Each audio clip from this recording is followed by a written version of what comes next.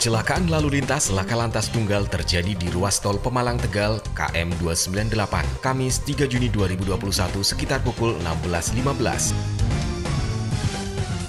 KBM Hyundai dengan nomor polisi B1165 KJG yang dikendarai Ramadita Agus Karnan dan Asep di ruas tol tersebut tiba-tiba oleng hingga akhirnya terperosok di pinggir ruas tol.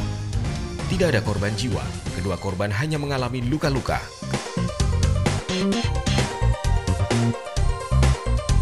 Kapolres Tegal Kota AKBP Rita Wulandari Wibowo yang saat itu sedang dalam perjalanan dinas melintas tepat di lokasi terjadinya laka lantas tersebut, melihat dan segera berhenti untuk memberikan bantuan.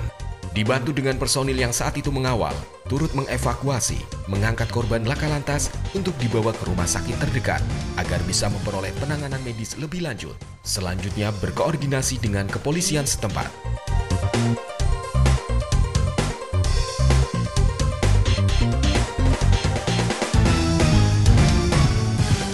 Identitas korban yakni Asep merupakan warga Bekasi dan Ramadita Agus Karman merupakan warga Jalan Setrasari 2, Desa Sukarasa, Kecamatan Sukasari, Kota Bandung.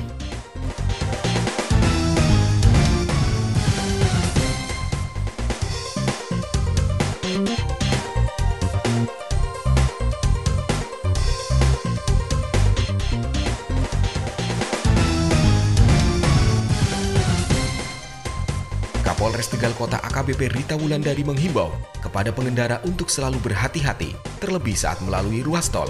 Pastikan kendaraan prima dari mulai kondisi ban, rem, termasuk kondisi tubuh yang segar sehat.